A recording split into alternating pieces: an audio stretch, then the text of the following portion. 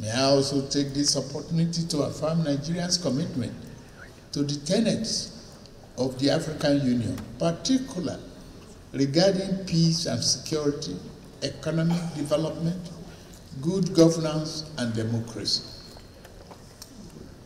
In the realization of these ideas lies the best welfare and future of our continent and its people. Your Excellencies, this world and our world is a continent in transition. The world exists in a period of fundamental transition. Neither Africa nor Nigeria is exempt from the realities of this transition. Where there is a transition, there is inherently is uncertainty again.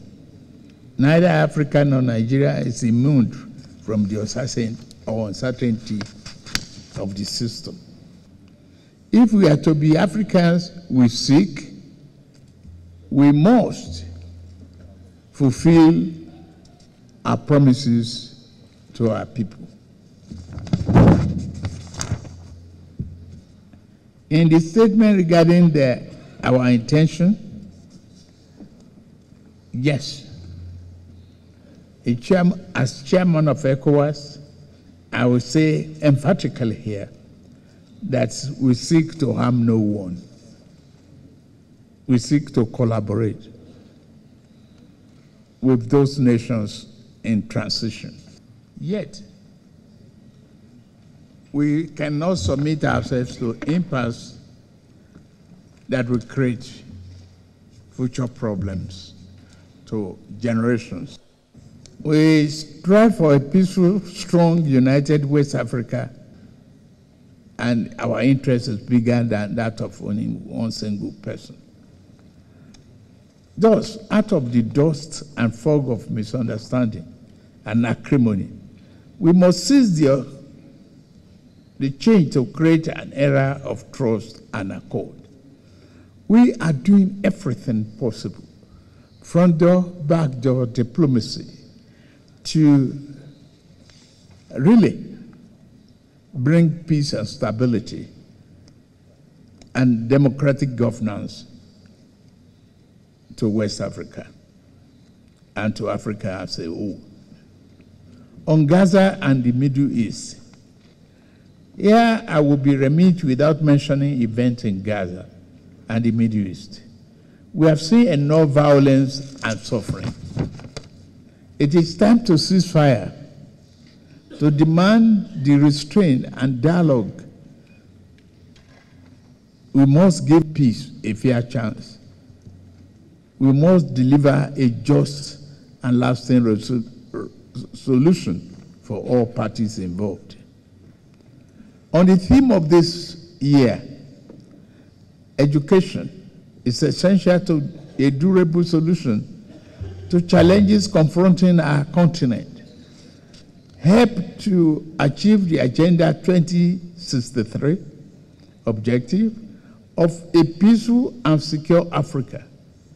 I speak Africa not only of education in terms of the benign use of science and technology to improve the material standard of our people. Africa must also become a better educated in the humane art of democratic practice and conflict resolution. This year's theme encourages us to remodel our educational system to fit these goals in Nigeria.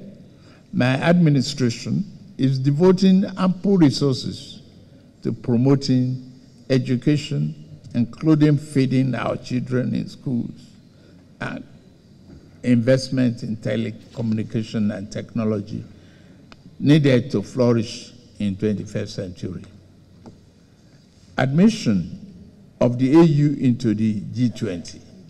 Admission of our union into the group of G20 is a welcome step in our long-standing demand to play our fair and proper role in the global stage. Nigeria will work closely with South Africa and others to justify the present and our representation in the continent. In a similar vein, we remain focused on equitable reform of the composition of the United Nations Security Council.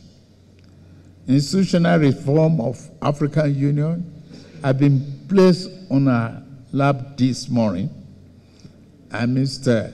Chairman, yes, we need that reform in order to agenda good governance, development, and democracy in the 21st century. On counterterrorism, violent extremists undermine our effort towards democratic society, where the rule of law outweighs the rule of armed might. While progress has been made, it is also timely that we reassess the decisions adopted in Malabo regarding terrorism. African Counterterrorism Summit, as such, I humbly extend my personal invitation to African Counterterrorism Summit in April in Abuja.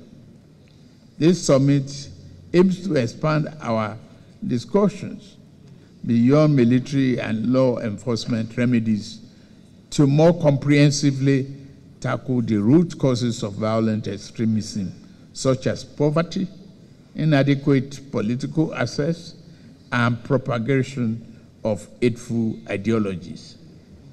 I ask that you come to Nigeria not only to experience our hospitality, but to contribute to a new paradigm for healing. African Central Bank, consonant with the Abuja Treaty, Nigeria is ready and we are making progress. Thank you very much for listening to me.